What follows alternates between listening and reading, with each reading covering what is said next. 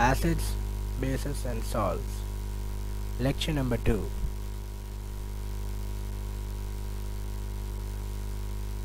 This lecture, we come back to the concepts of pH, its uses and its importance.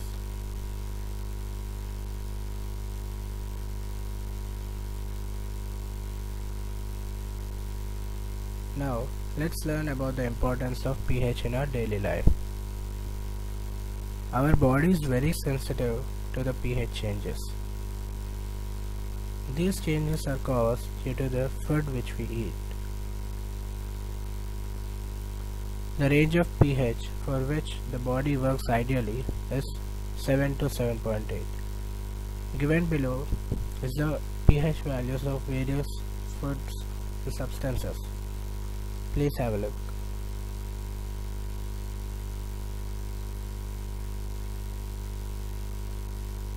The effect of pH on plants and animals.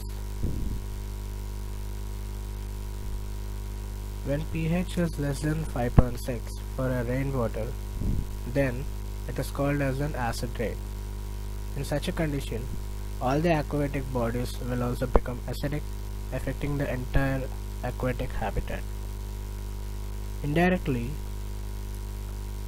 those creatures outside water will also be affected.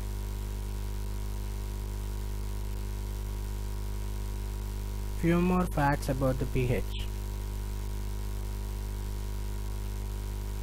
pH range plays a very vital role in the digestion of food in our body. Variations in pH will lead to tooth decay. Given below is the list of acids with which we deal more or less every day.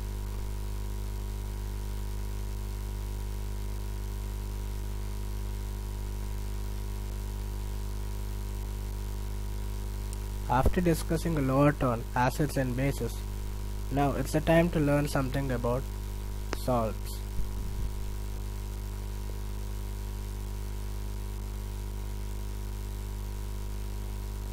So, let's learn about salt. A salt is nothing but a crystalline mineral. The all-time example of a salt is table salt, which is also known as a common salt. This is made up of sodium and chloride ions. Salts are usually formed by the reaction of acids and a base which has been discussed in lecture number 1.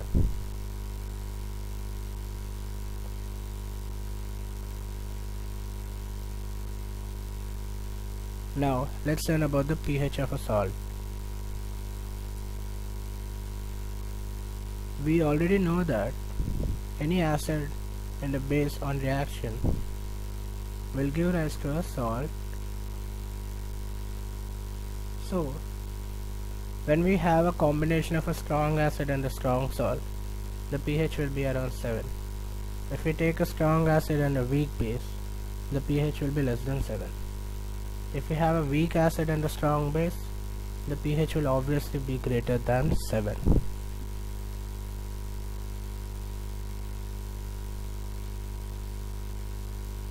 Coming to common salt, this is as uh, it is an important raw material in our daily life. This is mainly used in cooking. And this is how actually common salt looks. Common salt is actually used in detergents and bleaches also. An aqueous solution of common salt is known as brine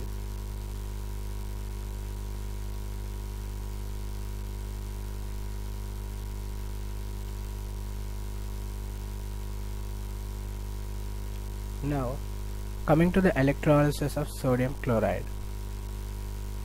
This process is by the way also called as chloralkali process.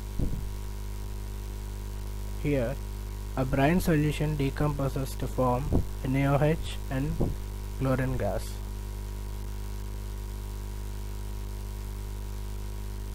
Given below is the experimental setup and it's also denoted which product is found and where.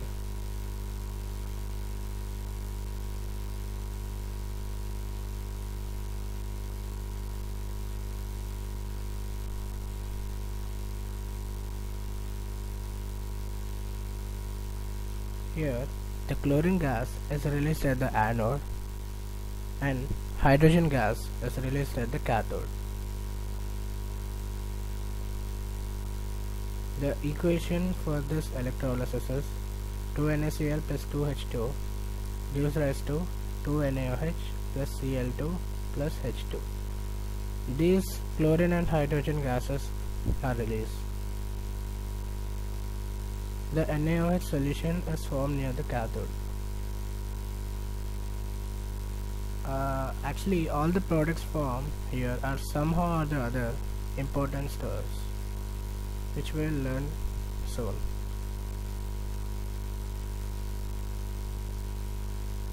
Now let's learn the uses of sodium chloride. From sodium chloride, these following substances can be prepared, which are bleaching powder, baking soda, washing soda and plaster of Paris. Now, let's learn about bleaching powder.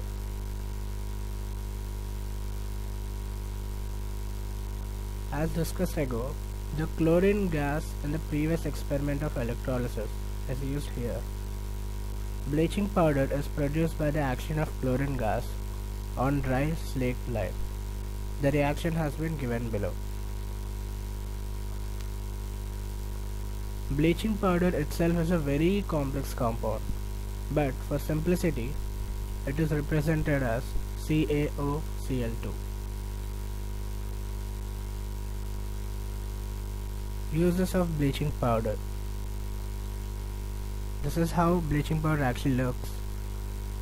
The main uses of bleaching powder are in washing clothes. It is also used as an oxidizing agent in chemical industries. Also used as a disinfectant in their drinks. Now let's learn about baking soda. This is mainly used in preparing bakery items such as cakes, pizza, bread, in the form of a baking powder.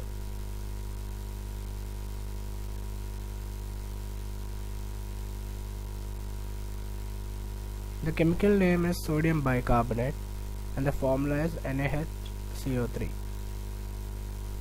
This is formed by the reaction of sodium chloride with carbon dioxide, water and ammonia. The reaction has been displayed below. Please have a look.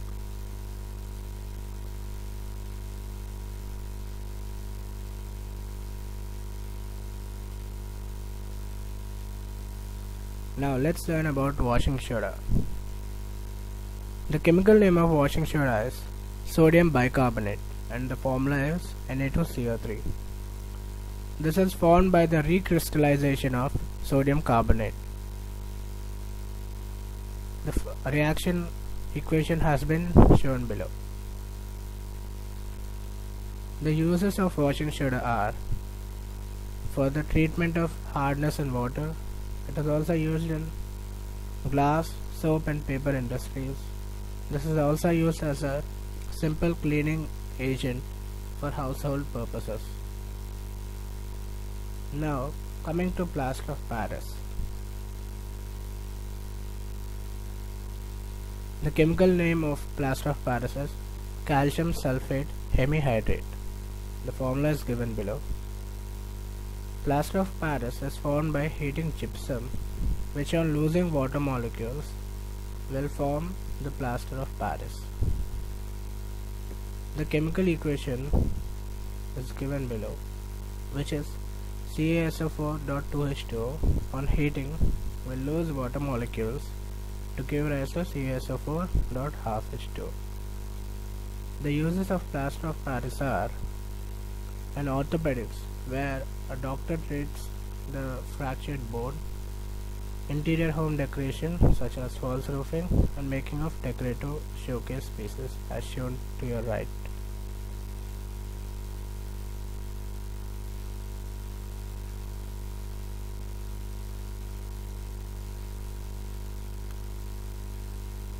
Coming to the summary part of the two lectures, hydrogen ions are responsible for acidic nature, OH minus are responsible for basic nature. Acids and bases react with metals to give rise to hydrogen gas. Acids on reacting with metal carbonates or bicarbonates give rise to salt, CO2 gas and water. Acids and bases conduct electricity solely due to H plus and OH minus ions respectively. Strength of a base can be determined by a pH scale. pH values range from 0 to 14. pH values if lies between 0 to 7 implies acidity. pH if it lies between 7 and 14 implies basicity. pH of a neutral solution is 7. Acids and bases neutralize each other. The pH of blood is 7.4. The end. Thank you for watching.